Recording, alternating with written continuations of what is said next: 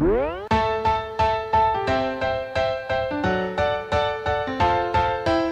wouldn't want to walk away with $25,000 and the gravy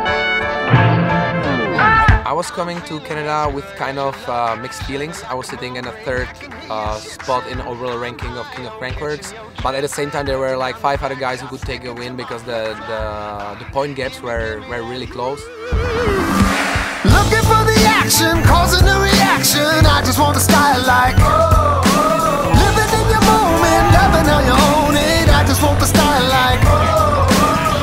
Was racing on Ghost Asket for the pump track, then I was racing on Ghost Ride for uh, dual slalom and speed and style, and then I was racing A-line on uh, Ghost Framer.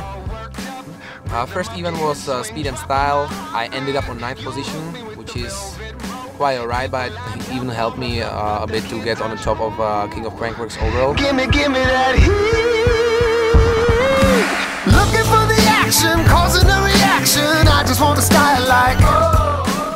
Then we were going for uh, A-line.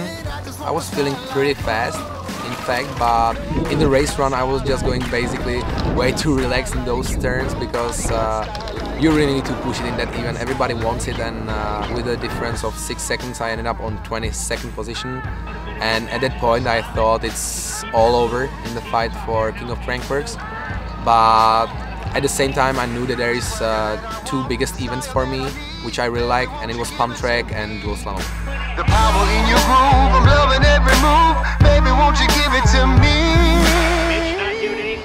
At pump track, I felt pretty strong. I, I was getting to the semi-final, and after some uh, small mistakes, I unfortunately didn't make it to the big finals because you know pump track is all about those small, tiny mistakes, and I've done them. So, so I ended up on the fourth position, and I was on the third overall for the King of Crankworx. So I knew if I want to take the win, I really need to win the dual slalom.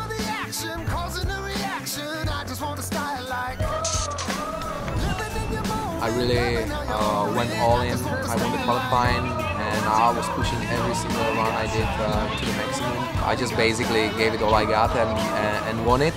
And I became a king of Crankworx, so I was super stoked and, and really enjoyed the time, you know, being standing there on the top spot after after such a long season with after so many events and stressful situations. It's it's a great relief and I really enjoy this time. 2016 King of Crankworx, Tomas Slavik!